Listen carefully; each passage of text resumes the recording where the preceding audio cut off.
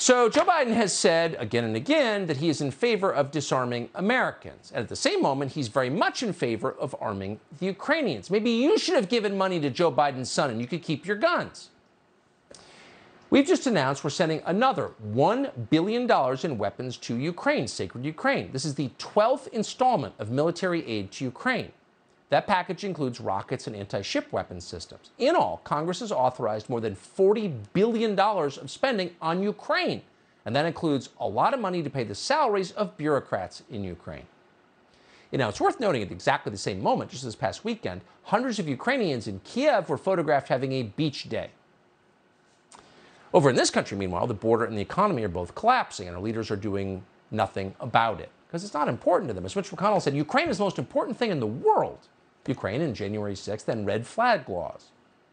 Why? Why are those things so important, but not you? Chip Roy is a member of Congress from Texas, Luckenbach, Texas, by the way. He joined. Is that true, Luckenbach, Texas? Yeah, I represent Luckenbach. It's uh, you know God's country out there, Tucker. You need to come visit. Country music fans everywhere make the pilgrimage. Uh, so, Congressman, tell us why, when the problems around us, when it does feel like things are kind of falling apart for real for the first time in our lifetimes, they're focused on Ukraine and January 6th? Well, there's no real excuse for it, uh, Tucker. You got the Democratic Party who has basically declared war on the American people, our way of life. You've just had a number of segments talking about energy policies where we're now paying $5 for gas and we can't even have energy, uh, electricity being created in Texas, of all places, where we sit on an entire ocean of oil because of our stupid policies and chasing unicorn energy policies where you've got windmills and, and uh, solar panels on, you know, windless, cloudy days. You've talked about with Steve Deace about what they're doing doing with respect to, you know, the clot shots and the needles getting jammed in the arms. Let's talk about the border, where we've had almost 3 million apprehensions. Now, today, reports of 800,000 gotaways, known gotaways, over the uh, course of the Biden administration. Fentanyl pouring into our schools, our kids dying in record numbers. And what do Republicans do? I mean, Republicans are complicit. They're saying, hey, why don't we just go along with the Democrats and let's do red flag laws and let's go forward and draft daughters? You can't even make this stuff up. And now Republicans are getting mad at me. Republicans are saying, well, well how dare you question the uh, you know, genius of drafting daughters? You know, our 18 year old women, let's send them off to war. You know what they say, Tucker? We'll never send women into combat who are drafted.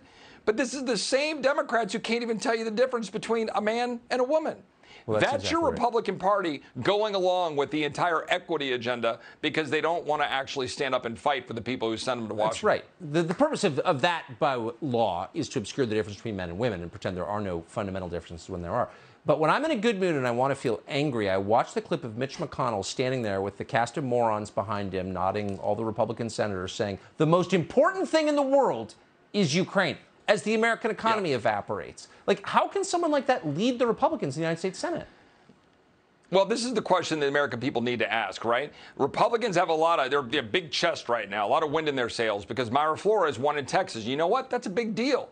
You know yeah. why? Because Texans are pissed off about what's happening on their southern border, and they yes. should be. But Republicans are taking it for granted because they care about power. They care about committee chairmanships. They care about raising money. But you know what? They need to be caring about honoring their commitment and doing what they said they would do. And they're not. And they do things like give a $40 billion blank check to Ukraine where they're trying to to say, oh, we need to do that because Putin is evil. Well, I know Putin's evil. You know Putin's evil. But why don't we go demand that we open up American oil and gas? Why don't we go do what we need to do to stand up for America? Why don't we secure the border? Why don't we stop spending money we don't have? And why don't we not draft our 18 year old women in a fit of equity rage in order to appease leftist Democrats who want to kill us? I have no idea why they would do that. We need new leadership in this town. Yeah. I've met a lot of world leaders. Haven't met too many who weren't evil. Just throwing that out there. Uh, not a defense of Putin, just a fact. Congressman Chip Roy of Texas, great to see you tonight. Thank you.